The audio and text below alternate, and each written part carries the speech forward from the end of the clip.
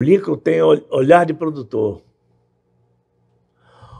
O Mumuzinho e o, e o, e o, e o, e o Xande, falando, falando de São Paulo, não, que é outro mundo, é outra, a, gente, a gente não vive lá, não vou falar uma coisa que eu não conheço. Mas aqui, né? O Mumuzinho e o Xande, eles, eles produzem música com ouvido de cantor. O, o Lincoln não, o Lincoln ouve ele produz com ouvido de produtor, nem de músico. E o produtor, ele ouve para o mercado, ele faz para o mercado, ele é mais abrangente. Aí tu, tu pega a mesma música, por exemplo, Pé na Areia, né, né, dá para dá todo mundo é, é, produzir essa faixa. A do Lincoln vai se destacar. Vai atingir mais. Porque ele tem um olhar de produtor. Porque o cantor geralmente faz para ele, né? Do gosto pra dele, ele. né?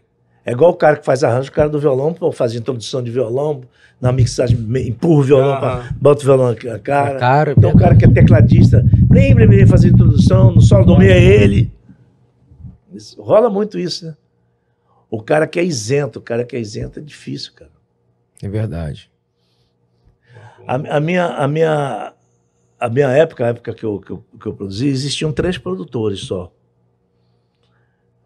Era eu, o, o Bira Havaí e o Adilson Vitor. Então a gente, é, a gente tinha.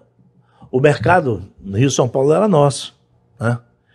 Eu fazia Negritude, Grupo Raça, só para contrariar. Né? O Bira fazia Molejo, Exalta Samba, Soeto. Tinha mais um que ele fazia.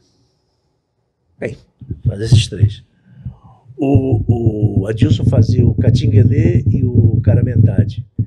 E tinha o Leandro. Sapucaí. Não. Learte. Learte. Learte é.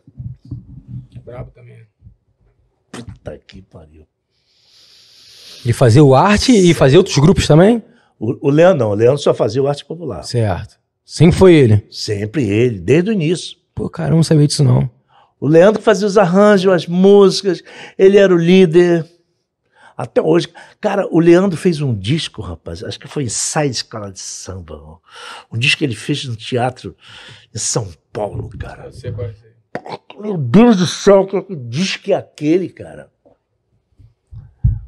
É uma obra-prima que aquele cara fez. Quer dizer, ele sempre foi genial. O, o, a genialidade do, do, do Leandro se, sempre se destacou. Tanto que ele, desde o início, sempre ele que produzia, ele que deu o jeito arte popular de ser, as composições eram uhum. dele. E ele não fazia muita questão de cantar, não. Quem cantava a maioria dos sucessos era o Márcio. Né? Era o Márcio, verdade. Porque o negócio dele é música. Ele é muito musical, né? É. Assim. Ele é brabo. Leandro. Agora, da nova geração, para mim, é o Lincoln. Sem é sombra de bom, dúvida. Né? Sem sombra de dúvida. O Lincoln tá Assim, porque você, você vê na, na, na, concepção de mixagem, na concepção, assim, na posição onde fica o cantor aqui, o cantor ele bota no lugar, sabe? É, é difícil falar. Consegue arrumar a casa, né? Falo de olho fechado, é mania minha, entendeu? Entendeu? Tu bota, ele bota o cantor aqui, bota o pessoal aqui, encosta aqui, aqui bota não sei o quê, ele faz um negócio, você fica aquela coisa bonita. Uhum. O Lincoln tem isso, o Lincoln é danado.